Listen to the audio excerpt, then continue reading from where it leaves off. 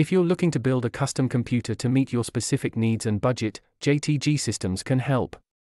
Our team is skilled at building custom computers using the latest components and technologies.